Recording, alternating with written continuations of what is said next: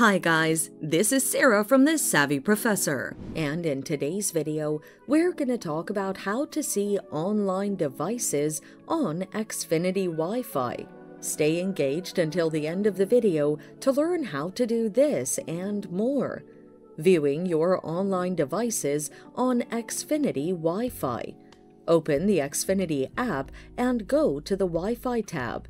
Below the tab titled Connected to Your Wi Fi, you'll see a list of the devices currently using the network. This page also gives you details about each device's status.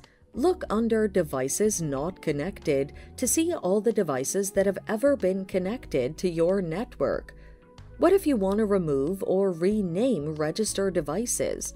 Before you proceed, note that you can only have a maximum of 10 registered devices on your Xfinity Wi Fi.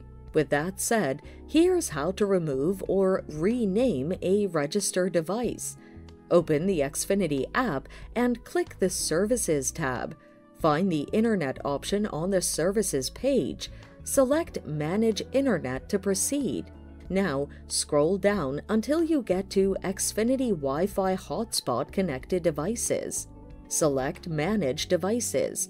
Click Rename to edit the name or tap Remove to get rid of a registered device.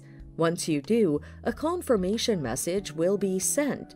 So, there you have it. Seeing the online devices on your Xfinity Wi Fi is that easy. Thanks for watching. Till next time.